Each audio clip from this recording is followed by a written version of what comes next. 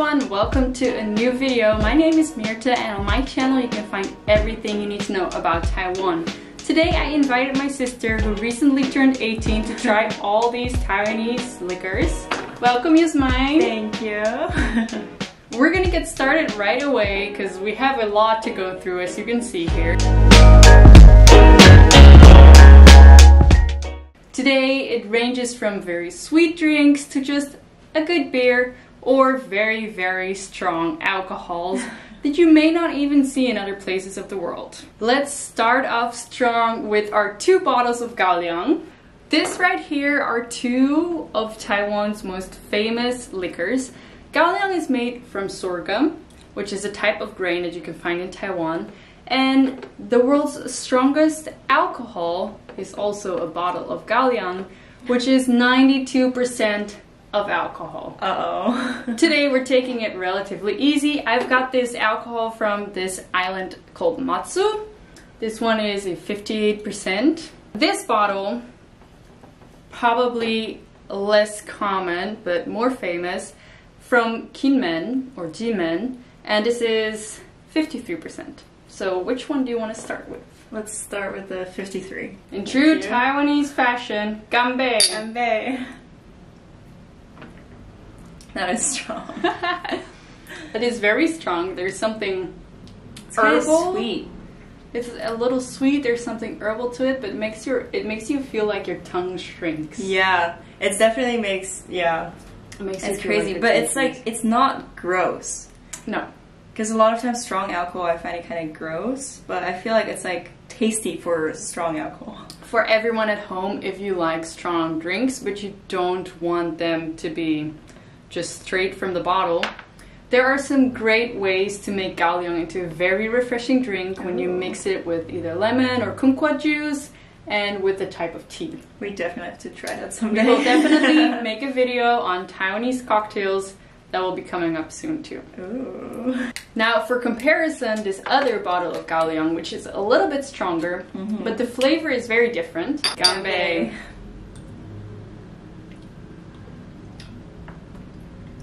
Spicier. yeah, definitely hits you harder. That almost had me coughing. That's definitely spicy. We're getting hot here already. hmm definitely. It's more sour in a way. Yeah, it it's not as sweet as the last one. I think I liked the last one more. This one is definitely stronger. Yes, and it's a little bit. Well, it's kind of sweet, but in a weird way. Yeah, I think it's more spicy. Yeah. Yeah. Would you drink either of these when you just want to sit at home on the couch, relax, and I'm drink? definitely not a strong liquor person, so Alright. probably not. What would you rate both of these liquors out of ten? Okay, I would say this one I kind of liked. I would I would give it a solid eight. Eight. Yeah. Geez, that's that's pretty high. I for know. On this and one? that one I liked a bit less. I would say maybe a six. Now let's continue with something more relaxed. Yeah. Taiwan is not a huge beer country, but they have some famous beers, among which this brand, Taiwan Beer. Or in Taiwanese, we like to say Taipi, which is mm-hmm. short for Taiwan Pijiu, Taiwan Beer. They have a variety of different beers, including their classic, 18 Days. Um, they just released another beer that's gold. Gold? Oh yeah, I've seen it around. Yeah. Um, they're all slightly different. I don't know exactly what the difference is, so if you know, let me know. I think the flavor. Yeah, I think the flavor, the alcohol percentage. Yeah. What's special about Taiwan beer is that it's not just made with grains, Mm-hmm. but there's also Formosa rice in it. Ooh. So homegrown Fancy. rice. wow. Have you had definitely this? Taiwan? I have had it on the day I The turned classic? 18. Uh, I think I had the gold version, Okay, but I quite like the gold version. So all right. It's very, very nice beginner's beer. yeah.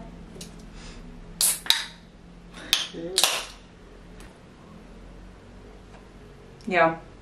I like this. I would I would drink this on a not a daily base, but if I would pick a beer, I think this is the best one I've had so far.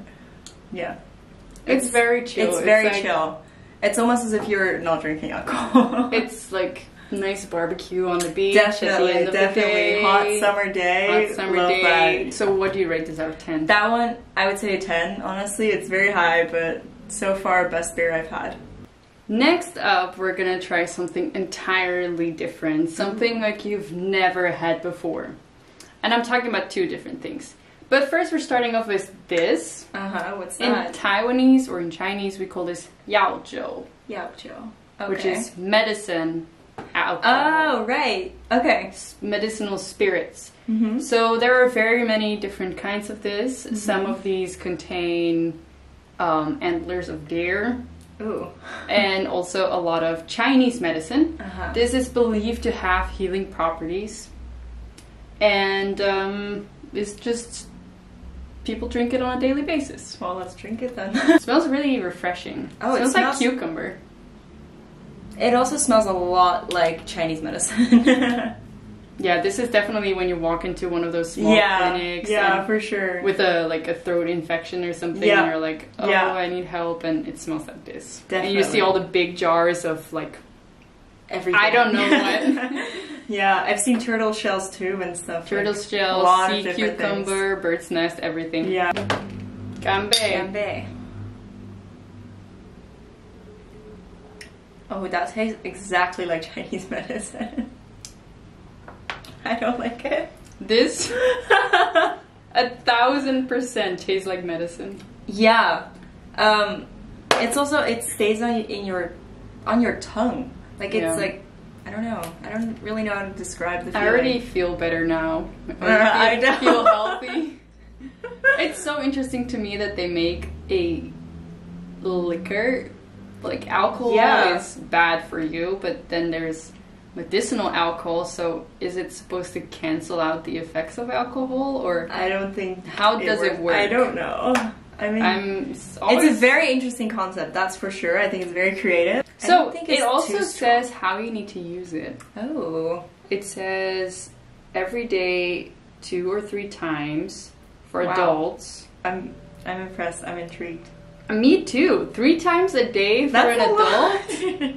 How long are you supposed to use this? Is it really alcoholic? I think so, right? I mean, I've definitely seen Yeah, no. Yeah. seriously, it says thirty percent. Wow, that's a lot to drink So to per get day. better, what? This is just like a medicine. Like honestly, a medicine Yeah. with a like prescription instructions. That is crazy. Let's move on to something that tastes a little bit different and definitely doesn't have healing properties. Let's go to Kavalan. Mm. Kavalan is probably Taiwan's most famous whiskey brand. For sure it is. Yeah. And in 2015, one of Kavalan's signature drinks or signature whiskeys won the prize for the world's best single malt scotch. wow. Ganbei. Oh, I do not like whiskey. Oh, I do love whiskey. It's strong. I haven't had whiskey in a long time. It's good. okay, I don't like whiskey the moment it enters my mouth, but like the aftertaste is good. It's very when you have it in your mouth for a little bit. It's very smooth on your tongue. also. It's a little bit smoky, but not very smoky. Mm. There's like that hint of vanilla and a little bit of a nutty flavor. Yeah. Yeah, I can choose that. This is definitely more my my up my alley. Yeah, than not mine. This is. oh yeah, that oh, what sure. did you rate this, by the way? I'd say four. I'm not Four? a fan. That's pretty high for something you don't like. Yeah, I think I think just the concept made it like a four. Just the Mm. idea. Yeah. How about this one? Three. Three. Two. Two, three ish. You thought I'm this one was big, worse than this one? Yeah, I'm just not a big fan of whiskey. Okay. So I'm- it's like this one, although it was really weird, I feel like it was semi okay to drink. Like it was not amazing, but I didn't like I expected the taste from it just based on the smell. Seeing that you give this a three, let's move on to something that I think you will like. Okay, let's try. Um, this is Aboriginal millet wine. It's distilled with millet, Mm-hmm. very sweet, but it's also used in Aboriginal rituals. Oh. So it's believed to ward off evil spirits, and it's also a part of some of the ceremonies. It's not very strong. It's thirteen percent. It's like a wine. Oh.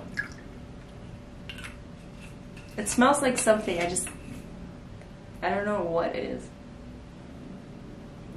Kind of smells like basement. oh! That is good! This, when it's chilled, you could down a whole bottle of this, like, Wait. and not realize you're drinking. Because it's honestly when it's this cold, or you drink it with Mm. like some ice in summer, this is the best imagine. drink. You can just drink the whole bottle, and you're not you, you Wow. don't notice that you're drinking. No, I like that one. I'd give it a 10. 10 out of 10! now we have this wine, and this is used for cooking and drinking. Now, I had never had this before, but our cousins came over this summer, and my cousin was like, on the list of things you should try in Taiwan, there is this alcohol. now, it is a more herbal alcohol again. Mm. It's not very strong. It's also 13% like the wine. But it's um, interesting. Let's just put it at that. Interesting. It's kind of savory, I think. Ganbei.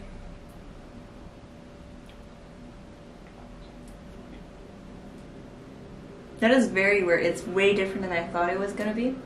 I don't know if you think so too, but I feel like it's kind of watery. Yeah. For me, the after the aftertaste tastes like chicken rice. All right, and last but not least, there are some specialty breweries in Taiwan. One of the ones that's probably bigger, more famous is Taihu. mm-hmm. which is like a Taiwanese tiger in English.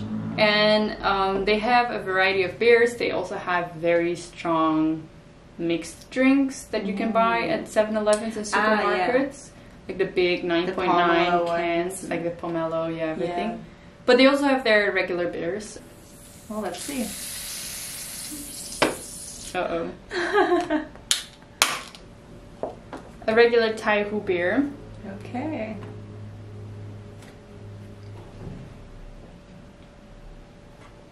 Ooh, I like that.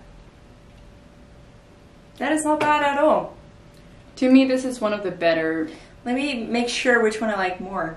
I like this better. It's Yeah, I like it better too. We are eight drinks in by now, and fortunately, we did not drink the whole bottles or even a whole glass, so we're not wasted or anything. But just to summarize, what is the one thing you would absolutely not drink again if you don't have to? Probably the whiskey or the Gaoliang.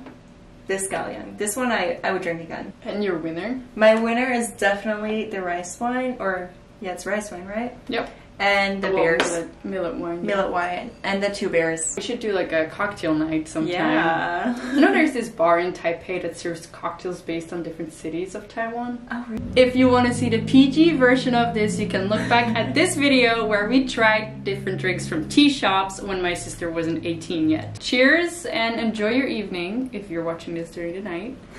and otherwise, have a great day. Don't forget to hit that like and subscribe button Yes. to see more of me and to see more of her when we're gonna be trying Taiwanese cocktails.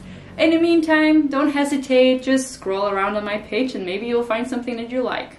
See you next time. See you next time. Bye bye.